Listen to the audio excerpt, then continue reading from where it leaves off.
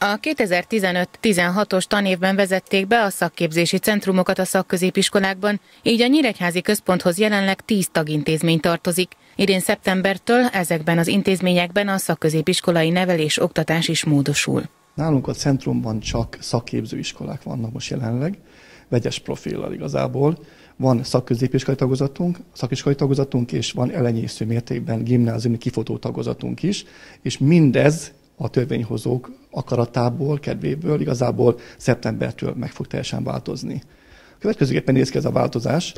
A szakközépiskolából szakgimnázium, a szakiskolából szakközépiskola lesz, és a gimnáziumi tagozat igazából, mint ilyen, mint ilyen rossz hagyomány, igazából megszűnik a szakképző iskolákban létezni. Tehát magyarul a név, mint középiskola el fog tűnni ebből a korábbi névhasználatból.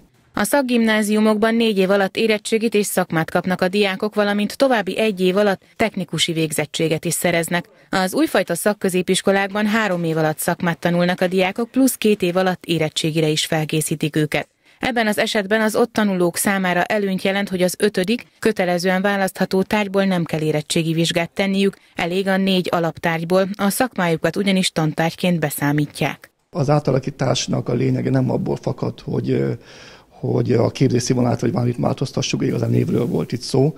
Én azt hiszem, hogy a gazdaságnak az a célja, hogy szakképzett embereket adjunk a számára. Ugye a gimnáziumot az választja át a Magyarországon, akinek olyan tervé vannak, hogy tovább tanul egyetemen vagy főiskolán. Tehát például jogi pálya, az ügyvédi pálya mindenképpen gimnáziumot igényel. De aki olyan szakmát akar, amiben jól meg tud élni, az mindenképpen válaszol szakközépiskolát, vagy most már szakgimnáziumot, illetve szakközépiskolát, ami most igazából szakiskolák nevezendő. A változás után abban bíznak a szakemberek, hogy kedvezőbbé válik a felvételiző diákok számára a szakközépiskola. Az eddigi tapasztalatok alapján ugyanis a tanulók nagy része inkább a gimnáziumokba jelentkezik.